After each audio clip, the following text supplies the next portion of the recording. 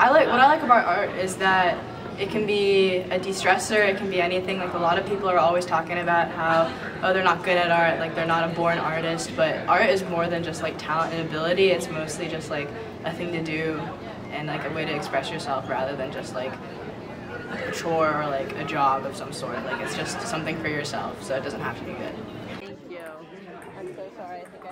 So I really personally love music right now. I know that a lot of people don't really think of music uh, primarily when they think about art, but I think music is a really strong sort of art. I know that art club here mostly focuses on physical things, but I really do love music as a medium. Um, for art club, I really want to do like friendship bracelets and a lot of other types of things that you wouldn't really think of.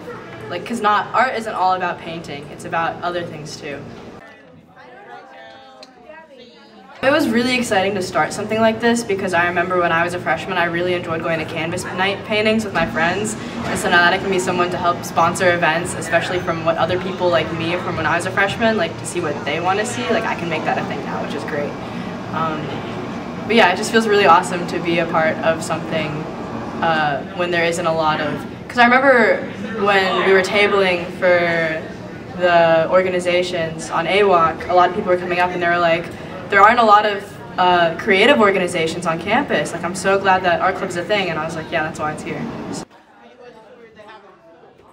Well, I think art club is mostly about just getting people involved and getting people more, like, it's like a de-stressor. Like, it's, I think art as, as much as a mental health thing here, too. So I think that it's just knowing that people are, um, sorry, let me think about this.